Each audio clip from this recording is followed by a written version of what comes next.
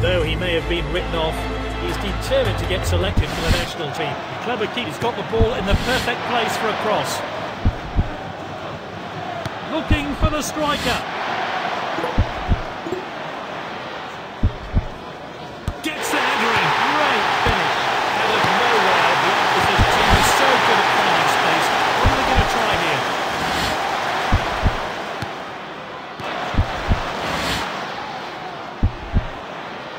Back towards the centre.